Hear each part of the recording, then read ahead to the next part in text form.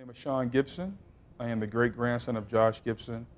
Uh, I'm the executive director of the Josh Gibson Foundation.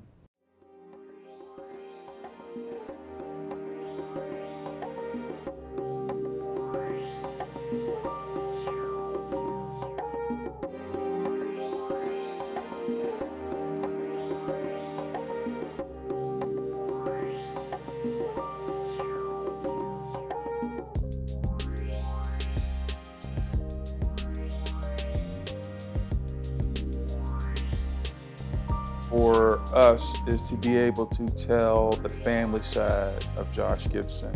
Most people, when they talk about Josh Gibson, they talk about the baseball, the home runs. But a lot of people don't know, you know Josh was a single parent. Josh' uh, wife died at childbirth when they had their twins. You know, so you can imagine as an 18-year-old kid going through something like that. Also in the times that African Americans and white were not getting along.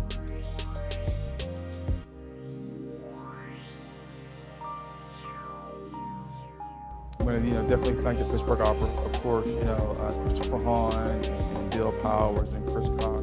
Um, you know, without Dan, there would be no Josh Gibson Opera. You know, this was Dan's vision back in 2007, and he brought it to me and my family back then.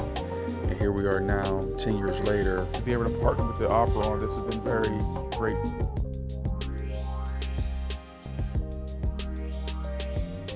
So when people come to the opera, I want them to get out of it is that, you know, understanding the life of Josh Gibson, a man outside the uniform.